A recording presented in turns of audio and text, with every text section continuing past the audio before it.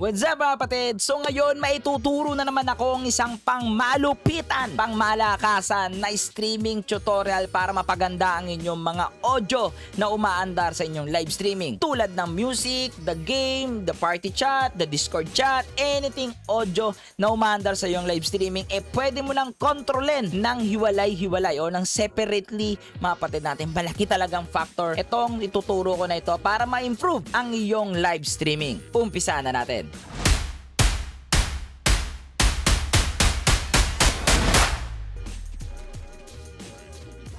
Gusto mo ba mag-step up ang iyong live streaming layout? Yung mga tipong mala-animated ang iyong webcam overlay, mga sub-emotes, mga transition, at lang lahat ng yan is high quality. So this video is sponsored by Onda TV. Onda TV is a one-stop shop mall para sa lahat ng content creators and streamers. So lahat nandito na sa Onda TV. So simple lang, once na may need ka, example the overlay, search mo lang sa search box and madadire ka sa window na to.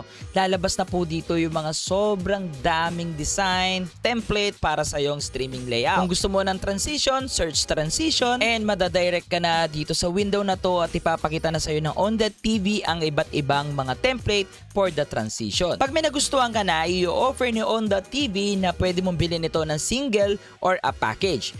But I must recommended go for the package para meron ka ng animated overlay, animated webcam overlay, animated post banner, animated starting banner, animated talking banner, and meron pang YouTube banner and then desktop banner. Nandito rin ang scene transition or ang tinatawag nating stinger. Siyempre, nandyan din ang ating mga new funnels and alerts. Example of this. Ang ganda, di ba? So, simple lang pumunta dyan mga kapatid. Lalabas dyan sa ating screen yung link or nasa description box www.onda.gg slash boss underscore Lucio. At syempre mga kapatid, meron tayong coupon code dyan. Just use word Lucio. Automatic, less yan ng 50%. Wag na wag ninyong kakalimutan yung word na Lucio guys para malaki ang matipid ninyo at magkaroon kayo ng sobrang gandang mga overlays pagdating sa inyong live streaming.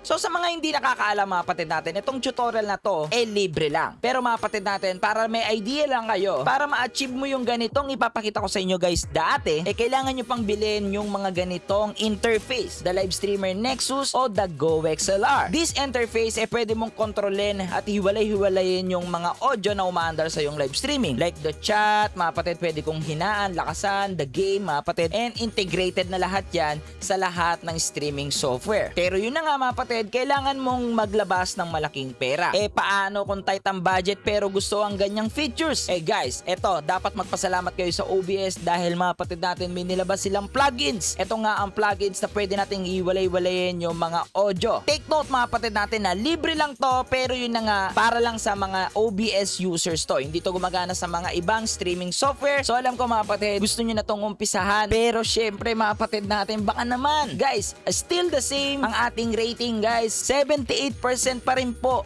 ang hindi nagsusubscribe sa ating channel o yung mga nanonood dito sa ating channel. Eh baka naman mga natin, kung meron ako nagagawang mali, pwede naman kayo mag-comment dyan sa baba para mas lalo pang ma-improve di Boss Lucio yung aking mga ginagawa at para naman guys, mag-subscribe na kayo. Libre lang yan. Eh baka mga kapatid natin, ma-hit ko na po ang ating 100k subscriber mga kapatid and this is my birth month. Baka pwede nyo namang iregalo na yan sa akin guys. Okay, malapit na mag-birthday si Boss Lucio.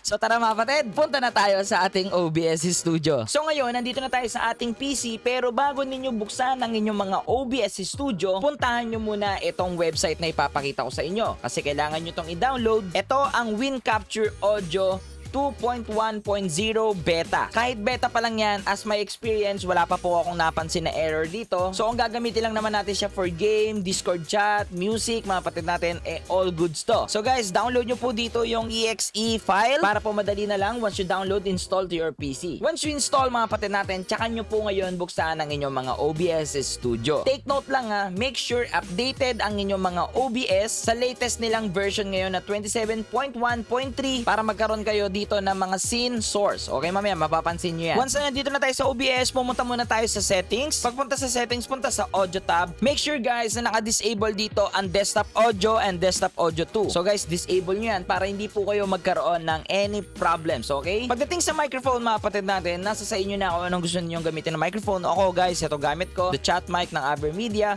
So choose niya kung ano man ang microphone nyo guys and then click apply and then okay. So next natin, gagawa tayo ng nested scene. Okay mga kapatid, dito sa scene na to, nandito po lahat ng ating audio captured. So from your scene mga kapatid, add po tayo dito ng kahit anong file, okay, kung ano gusto niyo Pero ako guys, audio captured nest scene.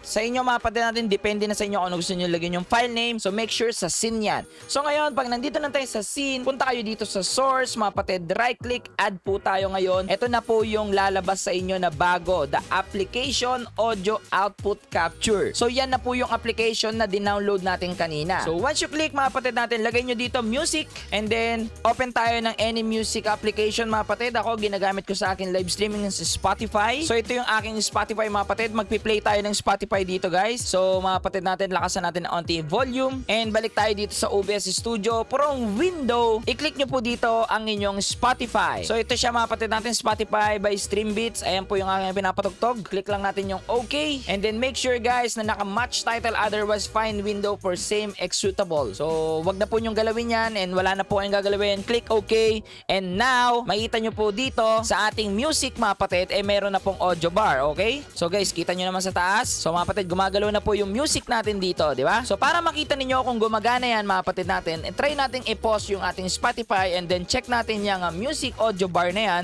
kung yan ay hihinto o yung ating audio mixer. So pause Kita nyo naman mga kapatid natin yung ating music tab. Eh wala na pong umaandar na music or any audio. Okay, working dito yung ating music audio captured. So next naman natin kung gusto naman natin ng audio game. So ako, I'm playing Valorant. So mag-open ako ng Valorant. Pero guys, kahit anong game eh, po pwede po dito. So next naman natin dito mga kapatid is add ulit tayo sa under source. Add ulit ng application audio captured. Next naman natin dito game. So guys, click OK and hanapin natin yung ating Valorant. So this is it. So click OK again and makita nyo siya dito sa ating taas, may game. So on natin yung ating uh, Valorant, mga kapatid natin. Tignan natin kung magkakaroon ng sounds yan. Nagkakaroon po ng sound yung game dito. So on natin yung music. So kung makikita ninyo mga kapatid natin, umaandar yung ating game dito na sound and then the music sound. So next naman natin guys, gagawa na tayo ng scene okay, ng ginagamit natin na scene guys sa ating mga paglalaro. Okay, o kung meron na kayong mga scene mga kapatid natin, i-input nyo lang po itong ginawa nating nested scene. So kung mga kapatid natin, natin, gawa tayo ng bago. Add natin dito, punta tayo sa scene. Add tayo dito ng playing scene. So sa playing scene, mga kapatid natin, add natin dito yung game na nilalaro natin. If you play Mobile Legend, Call of Duty, anything mga kapatid natin, nasa sa inyo na. Pero ako guys, I'm playing Valorant. Choose ko game captured. Lagay natin Valorant. And hanapin natin si Valorant mga kapatid. Valorant. And then that's it. Click OK. So ipwesto lang natin siya ng maayos. So that's it. Pag okay na po yan mga kapatid natin, punta kayo ulit dito sa source, right click, add, punta naman dito sa scene and hanapin po natin yung ating ginawang scene guys, the audio captured nest scene. So click OK and makikita nyo po ngayon guys na nandito na po yung ating uh, music and then the game. Okay? So ganun lang siya kasimple mga patid natin. If ever lang na magdadagdag pa kayo ng mga audio captured scene mga patid, guys, ganito lang ang gagawin ninyo. Babalik lang kayo doon sa scene na kung saan nyo ginawa yung mga audio. So, from this mga patid, eto, balik kayo sa scene, click nyo lang po yung audio captured scene na ginawa natin kanina, and then mag-add tayo dito kunyari ng application audio captured again, and lagay naman natin dito Discord chat. So, click OK, and then choose nyo po dito ang inyong Discord, and then guys, that's it. That's it lang mga patid. And then lalabas na po siya dito sa ibabaw, Discord chat, and pwede nyo na pong kontrolin yan, nasa sa inyo na kung nalalakasan po kayo sa mga music guys, pwede nyong hinaan, lahat po yan ay may main control na kayo. Ayos na ayos, di ba mga kapatid natin? Sobrang sulit yan para sa mga wala pang budget na pambili ng mga audio interface kagaya ng gamit ko ngayon. The Nexus mga kapatid natin, ito kasi Nexus guys, meron na siyang built-in mga kapatid natin na dito ko po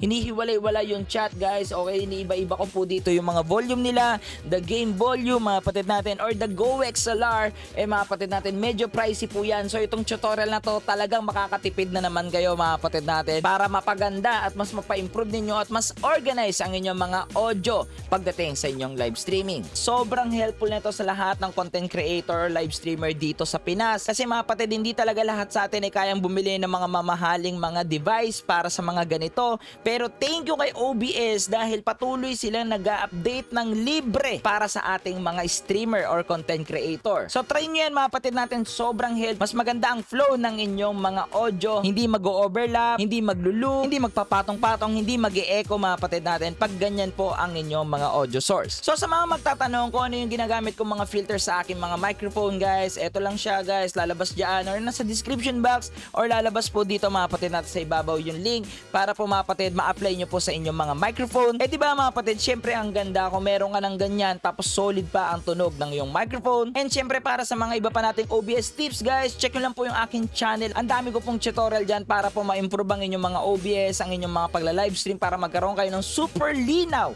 na live streaming mga kapatid natin. Eh lahat yan ay para sa inyo. So mga kapatid natin, hanggang dito na lang po ito. Kung again, kung nakatulong itong video na to, eh baka naman, baka naman mga kapatid natin na pwede nyo akong iwanan dyan ng isang like, share, and comment, and subscribe. At yung maliit na bell mga kapatid natin para lagi kayong updated sa lahat ng ating video. Again, I'm Luis D. Orteves, aka Boss Lucio, ang inyong stream coach. Para sa inyong mga stream and tech problem, happy streaming!